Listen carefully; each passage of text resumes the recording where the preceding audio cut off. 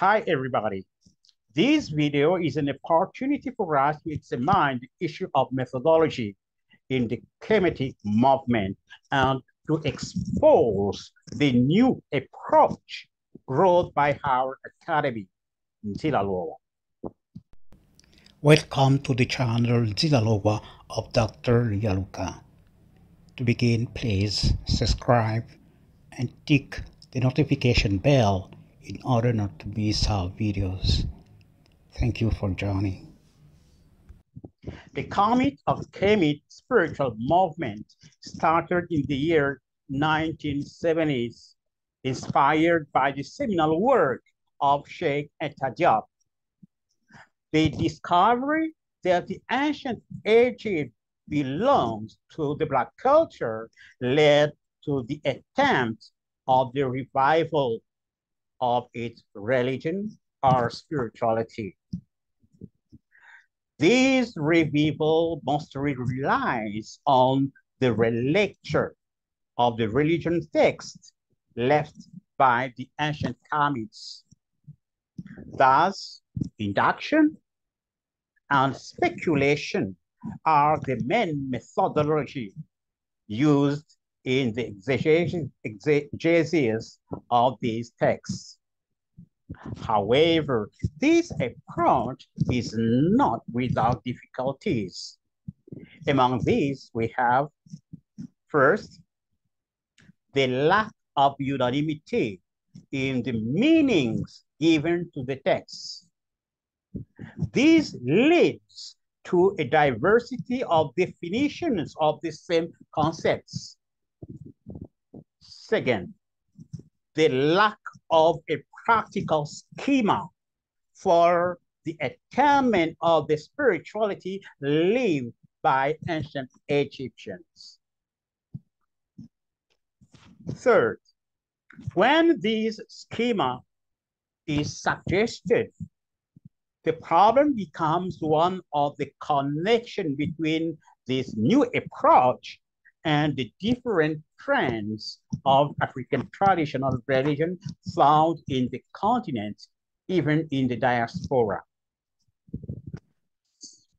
Failure to provide a clear answer to all this connection impacts negatively the need that is felt for the cultural unity of Africa. Fifth, the lack of a clear schema for the spiritual unification of African cultures. Has an answer to these difficulties, Nzilalowa, our modern Academy of African Traditional Spirituality, proposes an approach that, that we call Neo-Kemetism. Neo-Kemetism started in 2008 with the discovery of the Kemetic cosmological argument. The Kemetic cosmological argument states deductively the essential doctrine of a salvational religion. A comparative study proves that a perfect congruence exists between the Kemetic cosmological argument and the religions of ancient Egypt, of Sumer, and of Kongo. This implies that Kongo, the Kongo religion, is the continuity of the religion of ancient Egypt. Nzilalowa thus offers a unique and efficient approach for the revival of the religion bequeathed by our ancestors. It then follows that, firstly, where the traditional Kamites propose induction and speculation, the neo-Kamites offer a deduction and comparative study that is more efficient and this results in the demonstration that African traditional religion is in reality and in, in, in its original trend an exact science. Nzilalowa reveals the existence of two practices of African traditional religion, the divine practice and the human one. The latter being the most widely seen, if not the only one seen by the traditional Kamites.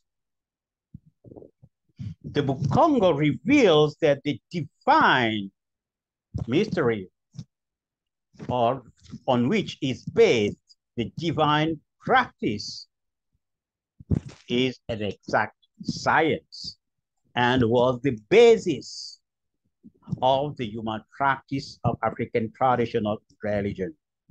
Thus, the Bukongo offers a framework for the explanation of the different trends of the African traditional religion.